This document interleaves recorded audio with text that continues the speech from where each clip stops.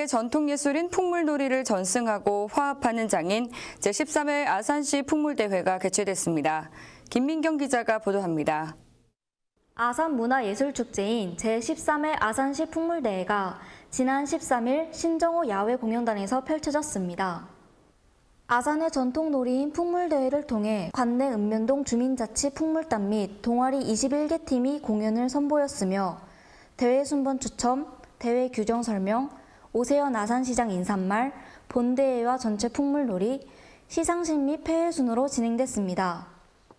우리 읍면동 또는 우리 예술단들이 한마음 한뜻으로 화합하고 어, 그동안 지친 마음과 어려운 마음을 풍물 경연대회로 인해서 모든 것을 해소하고 오늘 한마당 잔치를 만드는 그런 목적이 있습니다.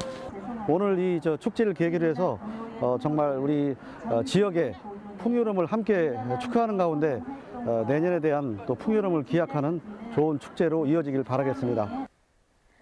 아산시가 주최하고 한국예총 아산지회가 주관하는 이번 아산시 풍물대회는 우리 문화 고유의 전통 풍물을 전승 및 보존해 건전한 여가 선용 활동과 문화 향유를 통한 풍물인들의 화합과 발전을 도모하기 위해 마련됐습니다.